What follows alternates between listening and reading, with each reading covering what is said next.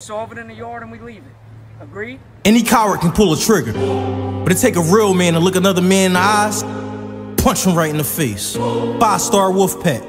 Step in the cage and I'm giving out work. Satan's backyard, you ain't trying to get hurt. Hey y'all, I'm Bullfrog from Maryland. Let's get it. Sledgehammer fighting out of Charles Town, West Virginia. Neutral corner boxing. Here to do it again. Let's go. Street Beefs, what's up, y'all? We are here, Neutral Corner Boxing, official gym of Street Beefs.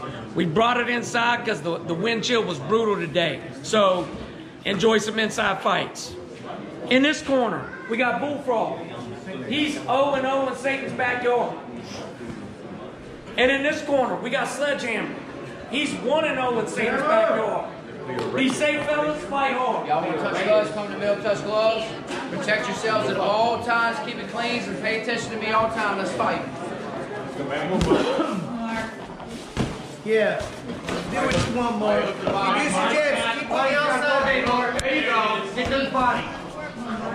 Mark. Nice, nice nice work, Mark. Keep on that high arm. Getting off. There you go. There you go. That one there, Rob. There you go.